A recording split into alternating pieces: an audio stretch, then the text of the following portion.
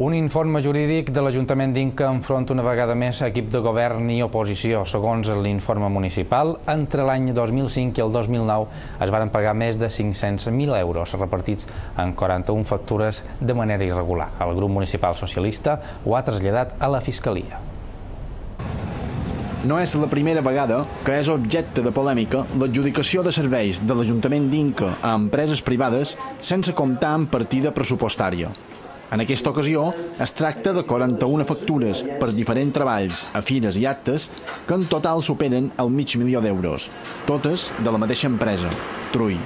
En aquest cas eh, se van contratar 41 factures diferents quan eh, les partides estaven esgotades. I per llei i per lògica tu si no tens dos bés no pots gastar.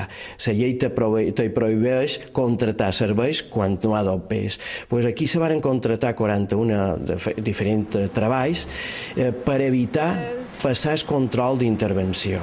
Per això, els socialistes d'Inca han traslladat l'informe municipal a la Fiscalia L'equip de govern diu que les despeses estan justificades i que es tracta d'una maniobra electoralista. Nosaltres respectant totalment les feines de Fiscalia, estem molt tranquils.